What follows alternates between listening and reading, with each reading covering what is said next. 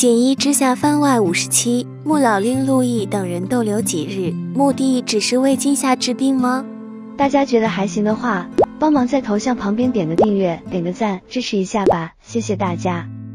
今夏好可爱，月光洒在柳居屋顶之上，映衬的四周更加安静，宛若世外桃源一般。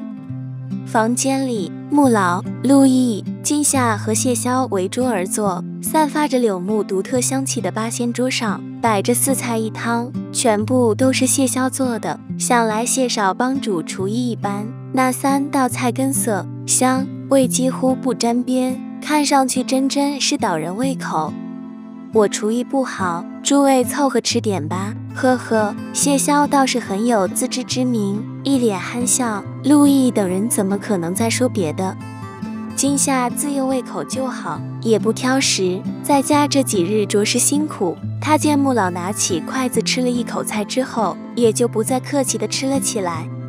陆毅见今夏胃口甚好，一脸宠溺的望着媳妇儿。越看越觉得今夏好看，至于哪里美，耿直的陆大人当真还说不出个所以然来。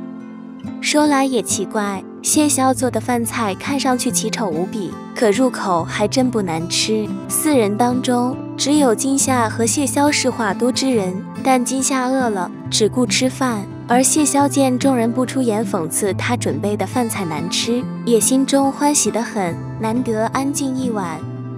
柳居外，一阵风轻轻吹过，几片柳叶随着风飘落下来。一只小鸟从柳树枝上飞走了，大人伤心了。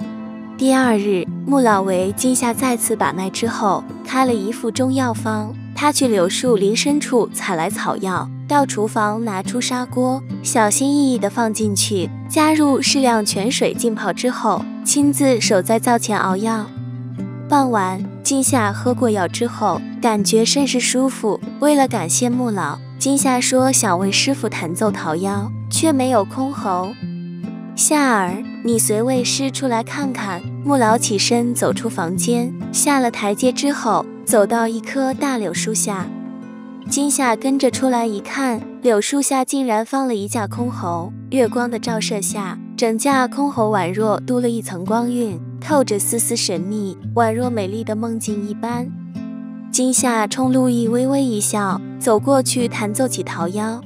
陆毅看着今夏，往事如洪水般从四面八方向他涌来。他跟今夏初次相遇是在六扇门，之后一同去扬州，在枫林坳，他第一次吻了今夏额头。在杭州城淳于家屋顶，陆毅吻了今夏。为了今夏，他跑去司马府抢亲。那一晚，陆毅抱着今夏承诺，要跟他携手一生，生儿育女。回到京城，一段仇恨宛若一座山，把他俩硬生生隔开。好不容易，好不容易苦尽甘来，今夏却患了失忆症，把一切都忘记了，甚至包括他们的孩子顺儿。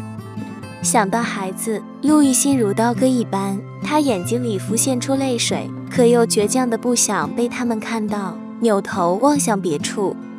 谢霄还是喜欢今夏，今夏因长久不弹奏，手法甚是生疏。穆老上来亲自指点他。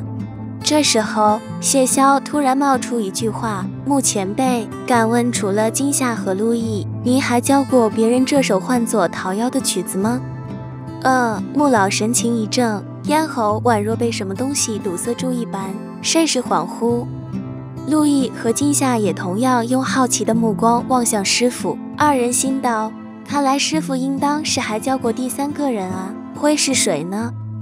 大家觉得还行的话，帮忙在头像旁边点个订阅，点个赞，支持一下吧，谢谢大家。